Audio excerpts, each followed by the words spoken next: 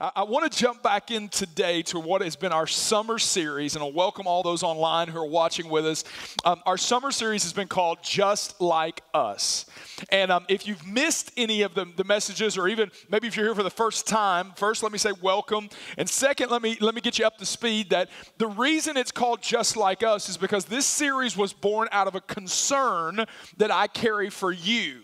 And the concern is this that when you hear a, a, sermon from the Bible or you read the Bible for yourselves, that you have a tendency to disconnect what you expect in your life from what you've read. That you have a tendency to dis- disconnect from what you've read to what you expect in your life.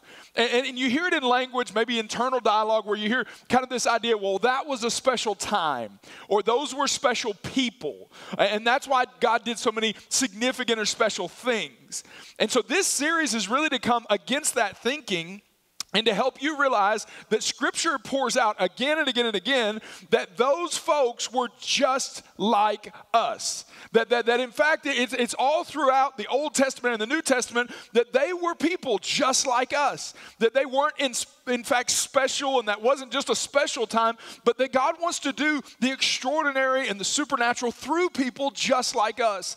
And so each week we've been pulling a person from the pages of Scripture and just looking at their life. And, and my goal has been to show you their humanity, but also show you how they're people just like us, yet God did significant things through them. And so we've been doing this for several weeks, and today I want to give you kind of the eighth installment, the eighth episode, and it comes from a man um, who is in the Old Testament whose name is Nehemiah. And, and the reason that his life is so important to each of us, and I mean to every person here, is this that Nehemiah's story tells us how we can overcome distractions, how we can overcome distractions.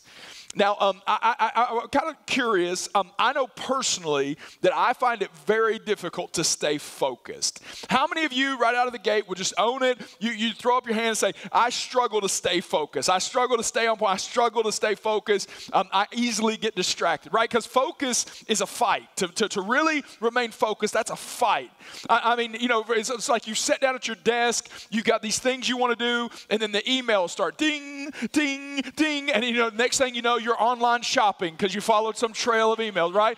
Uh, and, and, then, and then you know, like, like for some of you who, who've got kids at home right now, you had a to-do list that started in May that is still undone, and it's because your distractions are home for the summer, and you're you're waiting to get your focus back when school starts back, and and then for for, for some of you, this is the story of your faith that you sat down wanting to grow in your faith, and you sat down and you open your phone to read the Bible. The problem is is the Bible app is right beside of social media. And you end up looking more at what they posted than what he has said. And, and so, you know, the struggle is focus. It's, it's a fight. It's a, it's a distraction. It's tough. I mean, even here, th- this place is not, you know, we're, we're not immune to that here. Even today, your mind is going to wander. You're, you're going to be sitting there listening. And the next thing you know, you're like, well, I wonder where I'm going to go eat. I mean, what, what, what am I hungry for? And then, and then it's going to go like, why does she wear that? I mean, and then, and then it's going to be like, should I mow the grass when I get home? Home. And, you know, it's just hard to keep focus. Listen, it's hard for me to keep focus up here because you all, listen, I can see you pick your nose. I can see it. I, I, this, there's not, like, you are not hidden to me. I can see you talk and eat and text. I, listen, I can see you sleeping. Sometimes you think, like, man, he's passionate. No, I'm trying to wake you up. Like, like I can see, and sometimes that's distracting for me because it's, it's a fight to focus, and, and distractions are, are pulling at all of our lives. And, and, and so t- today, I, I want to tell you that that is a big deal. It's a big deal. Because if you and I were to sit down and we were to take inventory of the places in your life that aren't where you want them to be, I bet that we could trace it back to the cause is distractions. Like, like some of you are not as intimate with your spouse as you want to be. And it's because you're too intimate with your phone. Distractions. Some of you, you, you, you, you've had this thing, you go start a business for years, and yet this business has never been started. And it's because if we traced it back, there's distractions that are keeping you from taking the step. listen, that's the story of some of your faith. You have such a desire to know God the way that you hear other people talk about Him, and yet you, you just there's this distraction. You can't ever seem to get in focus, and there's this distraction. And so, so I want you to imagine for a second if you were able to overcome distractions, imagine the floodgate of blessing that would open in your life because you're finally able to focus on what God has called you to do and, and to become. Imagine if there, there, there weren't distractions. That's why it's such a big deal, and that's why we need Nehemiah. Nehemiah's story um, is contained, he's the central figure of a book that carries his namesake. And, um, and, and, and when the story opens, um, the people of God or the Israelites are, are not in their, their homeland, they're actually in captivity to a foreign king named Artaxerxes. And, um, and Nehemiah is a Jew, and he actually works in the palace of this king. And one day, the, the story unfolds that one of Nehemiah's relatives, who's been on a long journey to visit the, the nation of Israel, has come back and he's telling Nehemiah about the state of his homeland.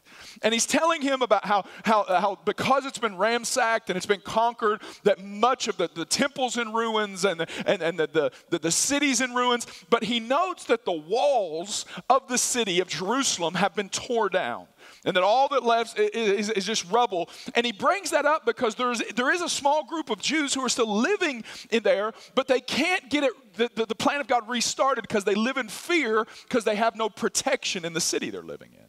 And so all of a sudden, the, the, Bible says that Nehemiah's heart is stirred by the Holy Spirit and that he is called by God to go back and help rebuild the walls so that God can restart the plan that he has for his people. And the Bible says that he goes to Artaxerxes and he asks to go, and that the king shows favor to him and actually funds portions of the trip. And the book of Nehemiah unpacks how, in fact, Nehemiah goes back, builds up the walls so that, that again the nation can begin to rebuild, and, and how he, he leads them into not just a physical rebuilding, but also a spiritual rebuilding. It's a significant story. You should read it. Um, but but, but the, the reason that I love it is because it's so easy to connect to Nehemiah. For you and I, it's so easy. Because at the end of the day, Nehemiah is an ordinary guy trying to build what God has given him. And that isn't, in fact, what you and I are. We're just ordinary people, people just like us, who, but yet God has given you something to build. Now, we're all building different things. Some of you, God is building, using you to build a marriage. Some of you, God's using you to rebuild a marriage. For, for some, God, you, you're building children and, and raising them. For some, you're building a ministry. For some, you're building a career. For some, you're building an education so that, that you can do something. For some, God's building your character right now, and that's what He's asking you to be a part of the build. For some of you, you're building a dream. For some, you're building a legacy. It doesn't really matter what the details of what you're building are. The fact remains that you are building. And what I know and what you know is that if you're ever going to build anything that has lasting significance, you have to build with a long standing focus focus. To really build something great, it's going to take some time and you're going to have to keep your head down and do it again and again and again. And that's the reason that we bring up Nehemiah because Nehemiah reveals a spiritual principle that's true in your life and it was true in his life that when the work starts up, the enemy shows up. And that opposition will always come to oppose what it is that God is trying to build in your life. It happened in Nehemiah's life and it happens in your life that because you've committed to building this thing that God's given you, there is opposition to it. And you can find it in Nehemiah chapter 4, verse 7, when it says, But when Sanballat and Tobiah and the Arabs and Ammonites and Ashdodites heard the work was going ahead and that the gaps in the wall of Jerusalem were being repaired, they were furious. And they made plans out of their fury to come and fight against Jerusalem and throw us into confusion. Now, listen, Nehemiah um, shows up and starts the work, and immediately three adversaries that repeat again and again and again show up as well. Now, they are physical adversaries, but, but the reality is they paint a picture of our spiritual adversary. And I love how their nature is the same as his because what it says is, is that, first of all, in another passage, it says they hated this work. And it also says that they were furious because of this work. And you better not make a mistake for one second to think that you're not on the radar of your spiritual enemy. He hates what you're building. And he has no mercy because they're children or because it's a dream or it's a legacy. He hates what you're building and he will do anything. It says they made plans, do anything to cause you to slow progress and to not build what God has called you to build, and He'll do anything, including make a plan that leads you into confusion. You see, your spiritual opposition has been at this long enough that He's de- decided and determined and fine tested his, his abilities that He knows that one devil doesn't fit all sizes of, of, of, of assignment. And here's what He's determined that for some, He doesn't need to destroy you if He can just distract you.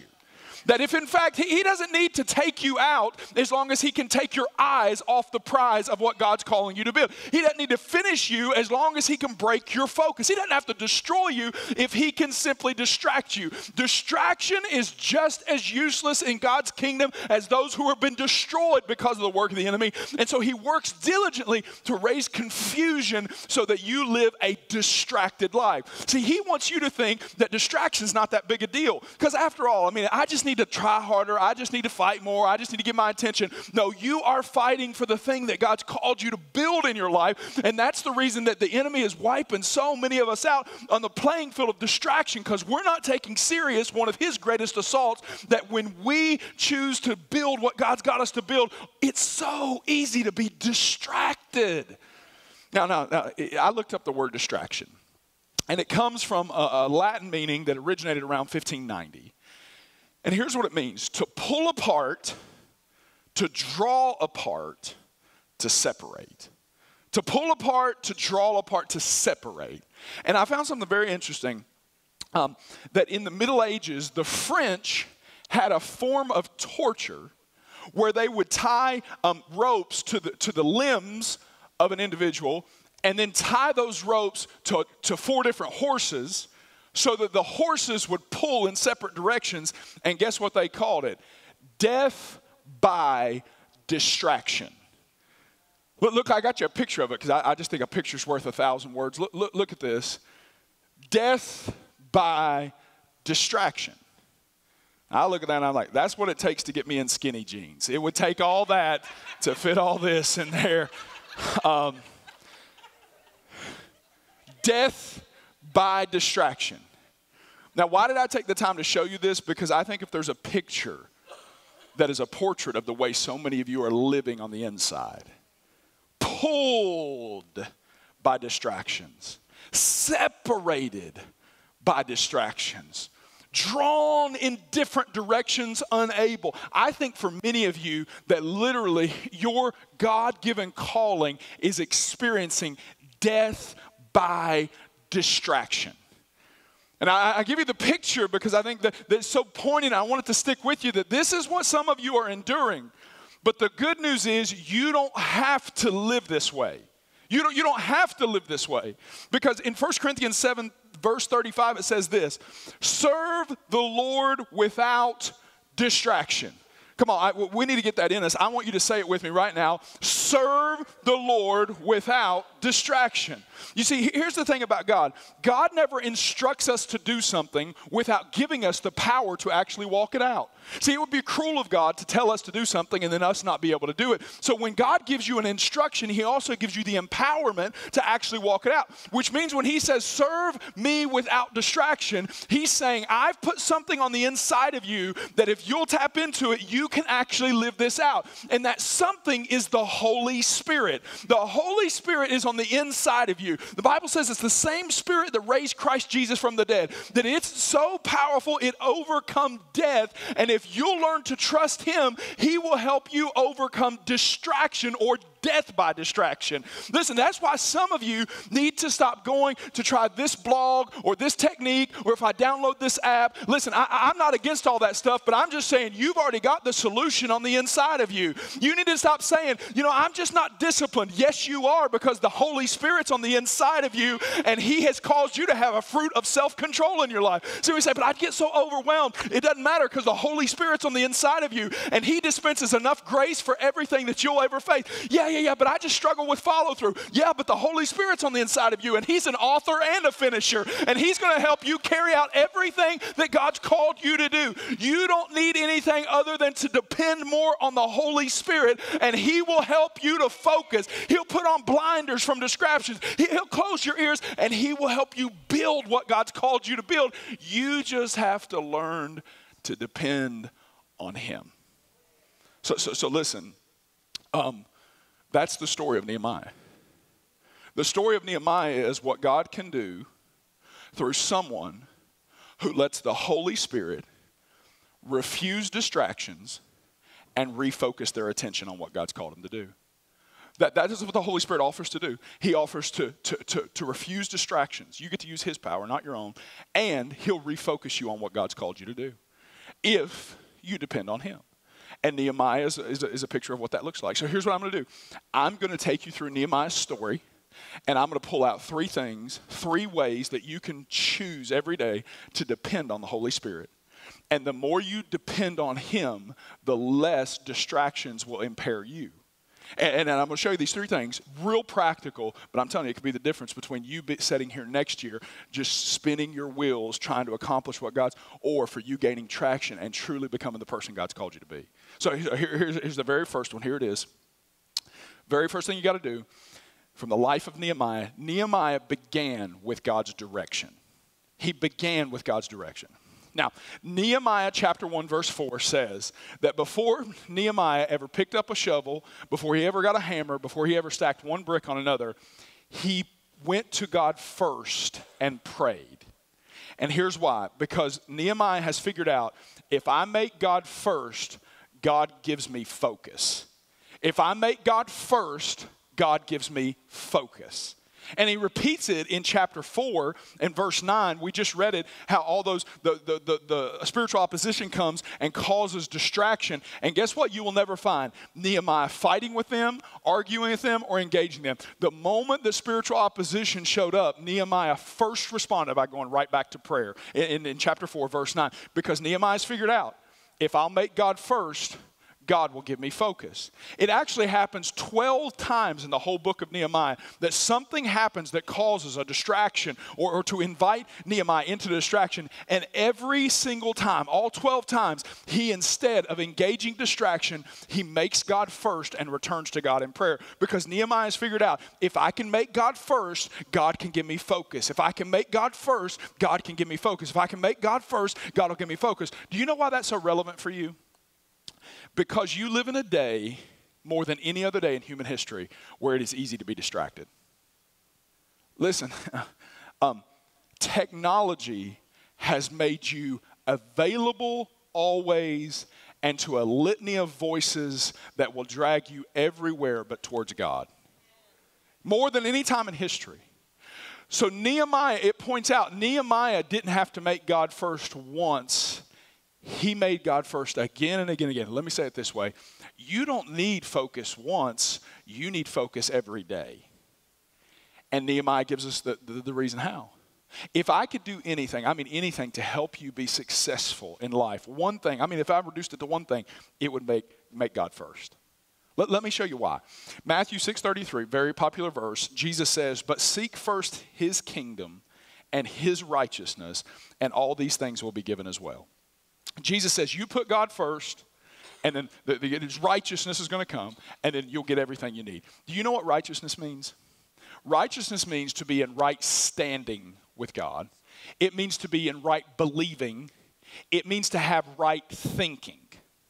So, so here's what it says if you'll put God first, you'll get right thinking, and guess what follows right thinking? Right living. If you think right, you're going to live right. And that's the reason you, have, you would be amazed when you make God first what God can make happen in your life. You'd be amazed when all you've got to do is make God first. We try so hard to do so many other things. If you'll simply just make God first of every area of your life, here's why. Because without God being first in an area of your life, that area gets no blessing, no strength, and no supernatural favor or ability. Wherever God's not first, there is no blessing of God. And that means you're left to do it all in your own strength. That's why I just want God to be first in every area of my life. I, I mean, that's just what I want. That's what I want for you. Listen, if you make God the first of your year by giving Him 21 days of prayer and fasting like we do every year, God blesses the other 11 months. Where all of the sudden what happens is, is that instead of living a year of regret, you live a year of reward because you put God first. It means He makes the connections that you normally couldn't make. He helps you keep the health goals that normally you drop. He helps you study in a way and persevere in a way that you, you haven't in the past just by simply putting Him first. It works in your finances. If you'll make God first in your finances by tithing, then God blesses the, the other 90% that's left. You know what that means? It means you get supernatural wisdom for investments that you never had before. It means you get self control to, to avoid debt so that you don't go into a worse scenario than you're already in. It, it also means He gives you creative ideas to generate more income and, and gives you favor for more shifts and more insight. He gives you a heart of generosity so you can be a part of His kingdom just by simply making it first. It works with the first of your week. If you make God the first of your week, today you're doing that by attending church, He blesses the other six days of the week. Listen, you know what happens is you come in here and He expands your vision for His will for your life. You come in here and He tears down the lies of the enemy that aren't supposed to remain in your life. And He doesn't just do it for you. When you bring your family, God doesn't just work on you, He works on every member of your family. There's been plenty of times in our house where Kayla was saved and I wasn't. But because we came to church, that we God worked in both of our lives and He able to work in both of us to help us become more like Him. You want to see your family turn around, get them in church. God will work in all of you. You don't have to fix them, God will do the fixing. Listen, and it works at the front of your day. If you make God the first of your day, He blesses the other 23 hours. He aligns your heart with His heart, He aligns your words with His words, He aligns your mind with His mind. And that means you get a divine reprogramming to where next time you walk in and distractions come, you can discern between what should be engaged and what shouldn't be engaged. You can choose between what matters and what doesn't matter. You can see where you should invest and where you shouldn't invest. You receive a divine focus when you make God first and you're able to walk into what normally derails you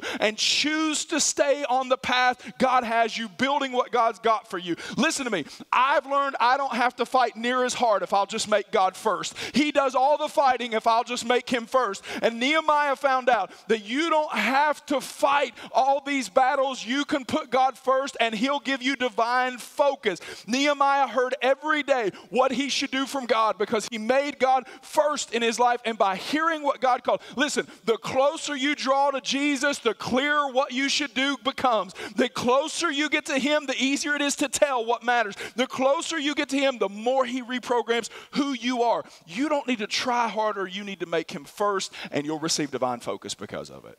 So that's the first thing you did. Now, here, here's the second one Nehemiah protected his progress by restoring the gates. Um, one of the most significant steps Nehemiah took was this. He not only was building the walls, but gates that had been torn down, he restored seven of them. Seven gates, chapter 3 tells you, you put up seven gates that have been torn down. Why is that significant? Because gates control access. And if you are going to overcome distractions, you need some gates that help decide what comes in and what goes out. Okay? I'm going to give you three gates every single person needs. Three gates every single person needs. Here's the first one you need a people gate. A people gate. Um, I read a, a, bumper sticker one time that said, um, God loves you and everyone's got a plan for your life. God loves you and everyone has a plan for your life. And that's true. Everybody has a plan for your life. And many of you are not living God's plan for your life because you're living other people's plan for your life. And you need a gate that decides who comes in and who comes out. Now, let me say this. I know some of you, you just don't like people. So you say, well, Pastor Joe said I can bust everybody out. I don't have to have nobody. That's not what I'm saying. I'm saying that a gate helps you determine who should be there and who shouldn't be there. Some of you do need new, new relationships, and that's you need to let some people in. But some of you, many of you, you need to get people out because people are distraction. And that means at some point, when, when people walk across the, the hall and invite you into gossip, you need to shut the gate on them. That means at some point, when, when you get that late phone call from your crazy cousin, you just need to let it go to voicemail because you just need, you need to shut the gate on that. That means for, for some of you, your kids, uh, you're trying to get your own life, but they're constantly trying to get you to live their life for them. You just need to shut the gate. Come on, baby, you got to get out the eagle's nest and fly on your own because I have to focus on what God's called me to do. Now, listen, some of you are not going to like this um, to, to the reality, but, but you'll get good at it. You're going to have to say no to some people. But listen, when you say no, you're in good company. Jesus said no to a lot of people. There were many towns who wanted Jesus to say, and Jesus said, No, I've got to go. There were many invites that Jesus received that he never took because here's why Jesus would not prioritize people over his Father. And he said, I got to say no to you in order to be with him so that I can save you. And so you, you got to get, listen, here's what Jesus knew. If you're always available to everyone, there will eventually come a time where you're no good to anyone because you have nothing to pour out. And that's why some of you haven't found your purpose yet and you, you don't feel like you have anything to give. You're so depleted that you don't have anything to give. But it's not because God didn't put anything in you, it's because people walk in and out of your life all the time, unrestricted. You, you got you to get a people gate. Here's the other one. This one, everybody needs this. You need a phone gate. You need a phone gate.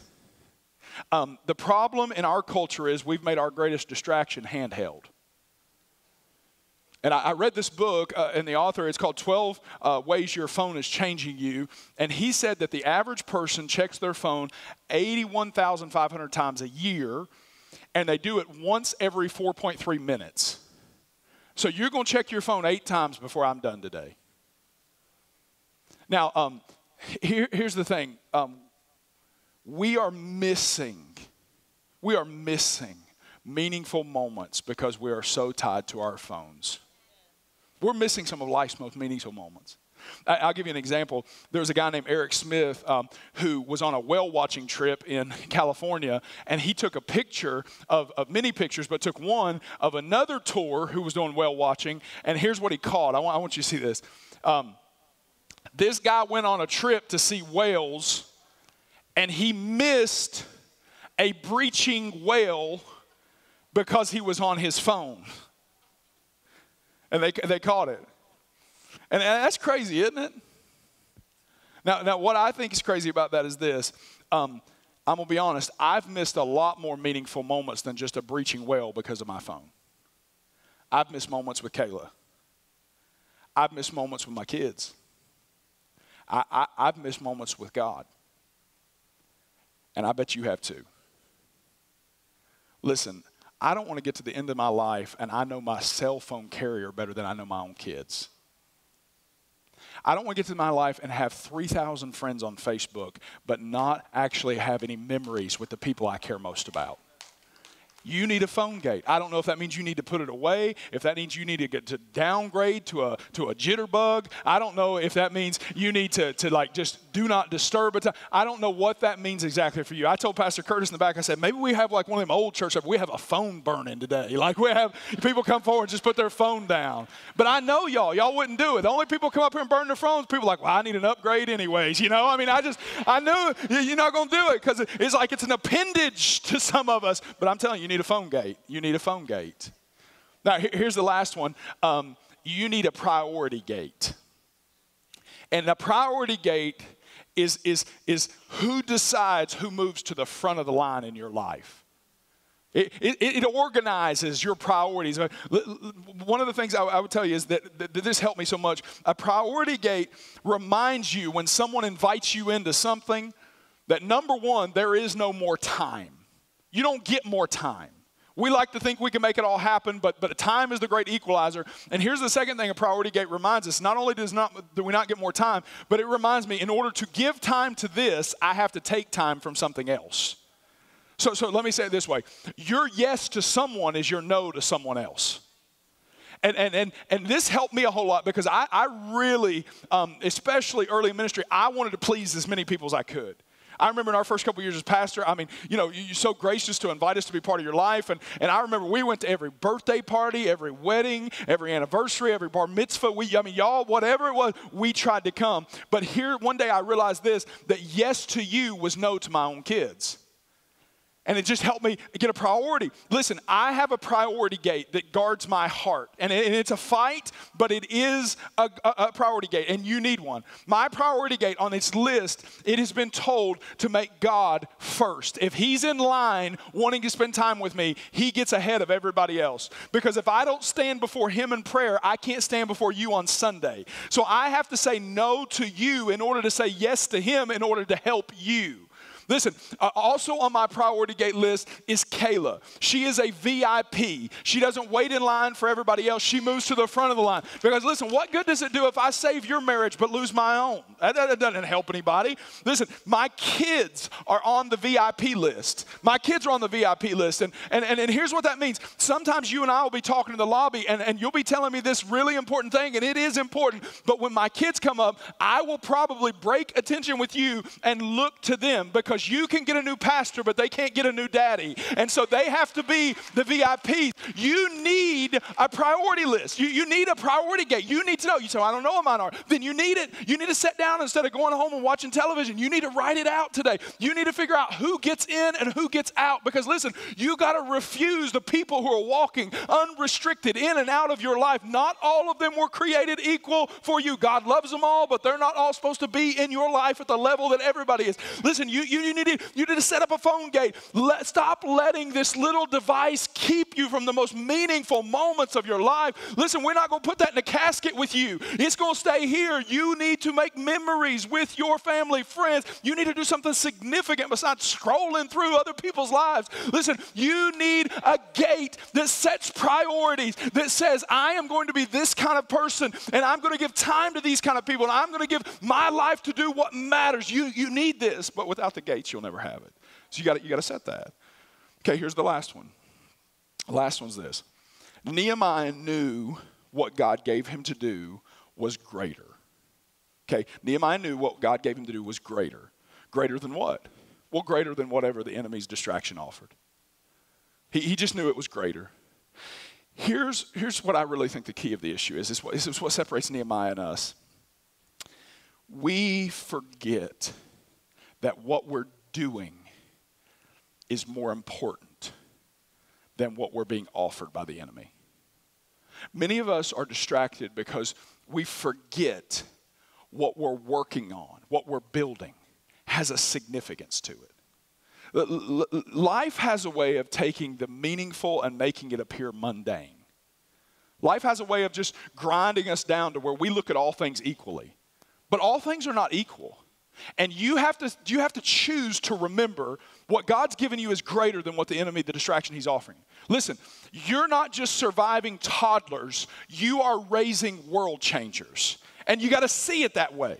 Listen, you're not just hosting a life group, you're hosting life change that can happen in people's lives. And there's eternal rewards for that. You got to see it that way. Listen, you don't look at it as I'm just going to work and it is nine to five. No, no, no, no. You are walking into a mission field sent by God to carry His light to a dark place. Listen, when, when you want to go home and, and, and instead of going to the gym, you need to remind yourself no, no, no. What I do at the gym is going to help this thing live 10 years longer so God can continue to use it in a way that's significant. You, you got to have a compelling assignment if you're going to refuse an attack of the enemy when it comes to distraction.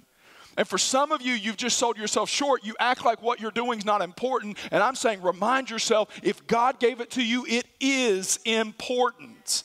That's what Nehemiah did.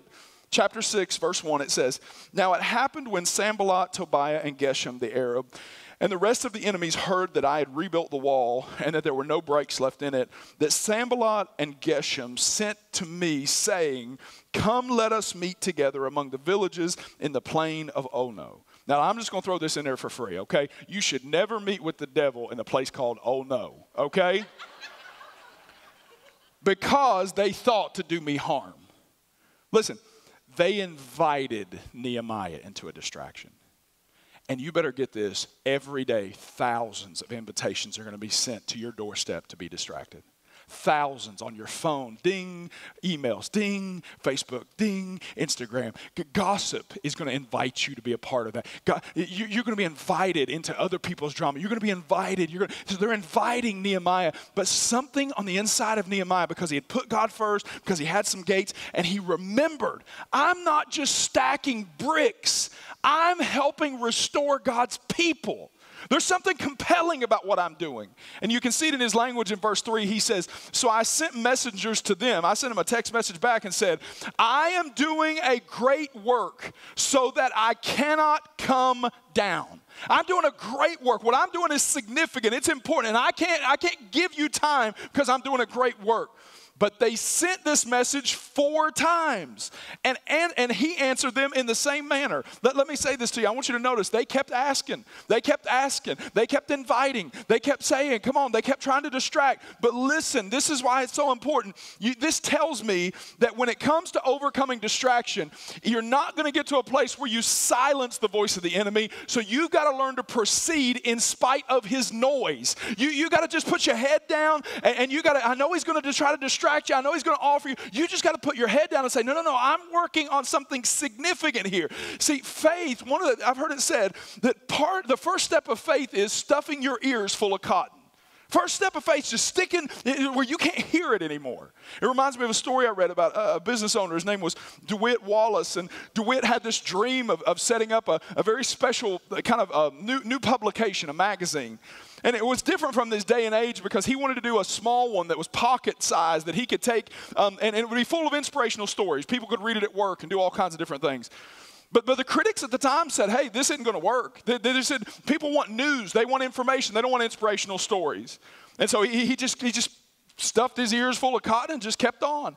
And he even heard from William Randolph Hearst, who was, who was a famed publicist and a publisher at the time, and, and he said that it wouldn't work. But he just, he just stuffed his ears full and get, put the distractions out and he kept um, pursuing it. He kept collecting thousands of stories. He, he laid it out and he bought a couple hundred of them. He sold a couple hundred of them. He bought a couple thousand of them. He sold a couple thousand. More and more and more. He just continued to, to, to, to put away the distractions and pursue what God had put in his heart. And today, Reader's Digest has 23 million readers because Dwight Wallace just decided, I'm not going to listen to the distractions. I'm not going to listen to what. And what I'm saying is this you need to get some resolve about you. If you're going to do something significant, you need to act like it's significant because people around you aren't going to act like what you're doing matters. You got to act like what you're doing matters. You got to know this is God given. He's given me this to build, He's given me this family, He's given me these kids, He's given me this career, and I'm going to make it into something. You need to get some resolve about you. Listen, if you need to borrow Nehemiah's words, then you borrow them, but you need to say, I'm working too great a project to come down and mess with your doubt. I, am in too great a ministry